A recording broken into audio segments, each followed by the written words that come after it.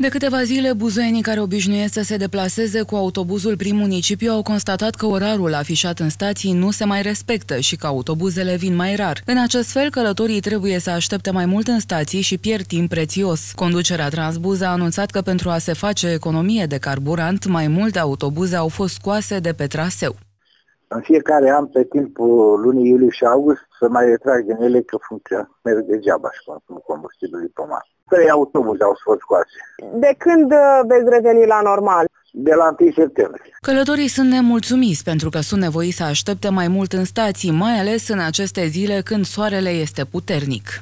Scoaterea autobuzelor de pe traseu înseamnă, pe de o parte, aglomerație foarte mare în celelalte autobuze, iar pe de altă parte, creșterea timpului în care buzoienii sunt obligați să aștepte în stațiile de autobuz până când sosește următorul mijloc de transport.